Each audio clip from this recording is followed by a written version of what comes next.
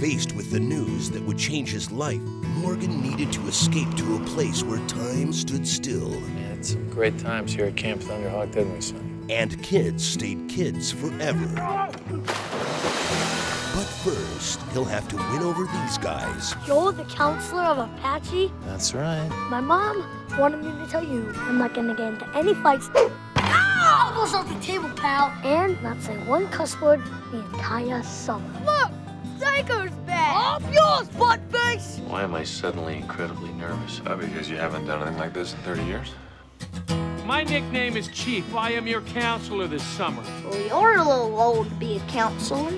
Time out! Has anyone seen my Pepto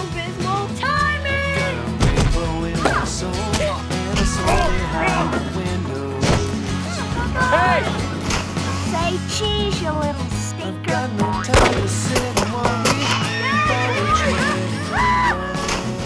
It's going to be a long summer, Chief. We are a team, Cabin Apache. When one of us gets dumped on, we all get dumped on. All for one and one for all. With lessons to learn Hey, Chief!